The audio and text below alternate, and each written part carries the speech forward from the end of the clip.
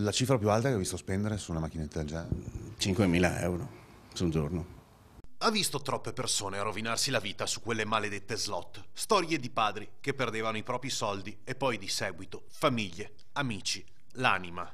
L'esperienza che mi è rimasta più impressa è quella di un padre che è venuto a giocare con le macchinette, doveva andare a prendere il latte per il, per il figlio, piccolo, appena nato, e alla fine si è mangiato tutto e è venuto a chiedere a me i soldi per il latte che io gli ho dato e poi l'ho invitato a non passare più.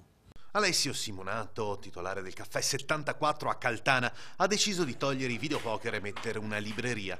Scelta che danneggia anche il suo di portafoglio, ma che restituirà serenità a lui e ai suoi clienti. Va contro ovviamente agli interessi, però non ce la facevo vedere sta gente così. Ecco. Trovavo assurdo perdere soldi in questo periodo di crisi. No. Ogni avventore può prendere o lasciare un libro. Ci si arricchisce così, culturalmente, nella mente e nello spirito. È stato apprezzato perché in una settimana sono già partiti una decina di libri, anzi anche oggi sono partiti altri due, alcuni hanno portato altri libri, insomma c'è una sorta di condivisione, è molto bello.